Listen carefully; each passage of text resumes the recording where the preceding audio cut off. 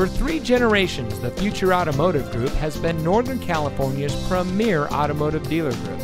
And here's another example of a great vehicle from our giant selection of pre owned cars and trucks.